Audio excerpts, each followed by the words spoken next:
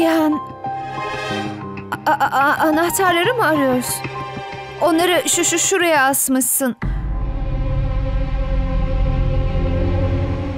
Dur, dur ben vereyim. Kendim alabilirim. Yardımın gerekmez. Bir an... Eğer benimle ge- ge- gelmek istemiyorsan sorun değil.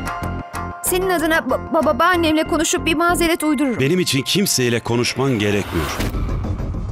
Ve ne yapıp yapmayacağımı söylemene de gerek yok.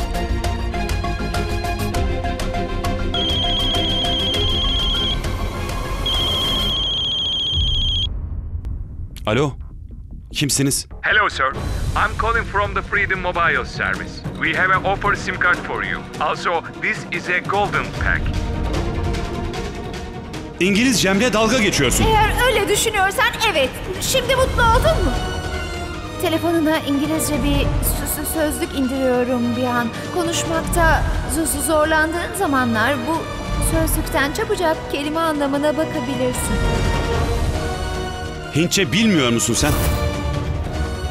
Eğer biliyorsan neden İngilizce konuşuyorsun ki?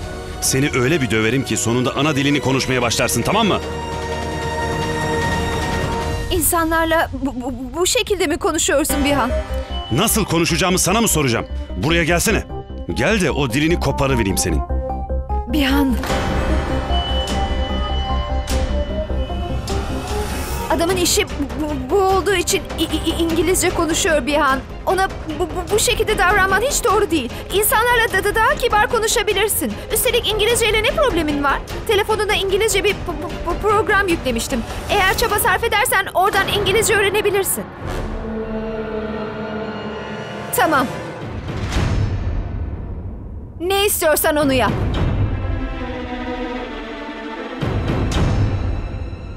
Gidelim. Hayır.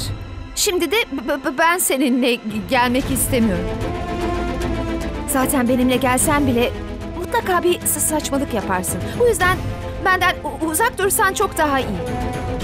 Başkalarını suçlamak çok kolaydır. Ama kendini değiştirmek çok zordur bir an. Bu yüzden önce kendini değiştirmelisin.